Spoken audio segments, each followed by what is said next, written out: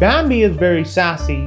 He knows the minute the electric fence is off, he would push it with his head to eat the fresh grass.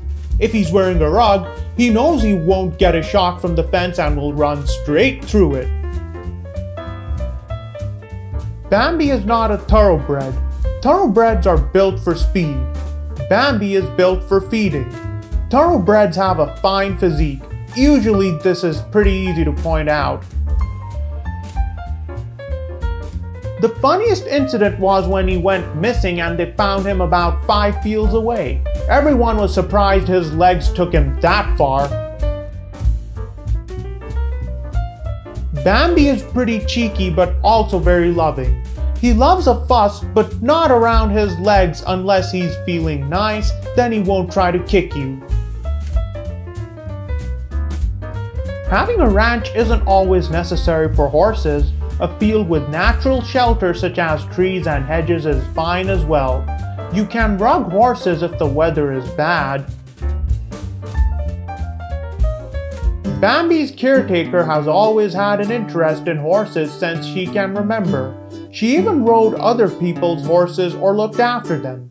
Bambi is actually Pete's companion who was Kia's first horse.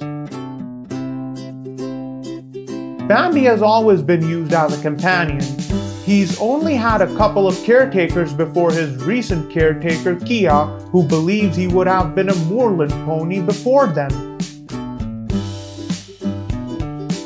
Bambi is a Shetland pony. Kia, who's Bambi's caretaker, believes he is a miniature Shetland, meaning he's obviously a lot smaller than a standard Shetland pony. Shetland ponies are stocky and have super thick coats to keep them warm on the Shetland Isles. They also seem to have the biggest personalities for such small beings and they are very cheeky, hence they are nicknamed the Shitland. Being a horse owner is just giving your horses the very best each day. Kia Poo picks paddocks twice a day, takes them out for rides, walks and feeds them grass, hay, water every day.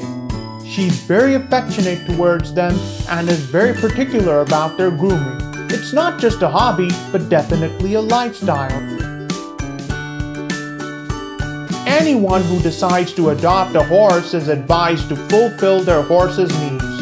Do your research first as there are many horses that are sensitive too. And remember not to put too much pressure on yourself Enjoy the experience.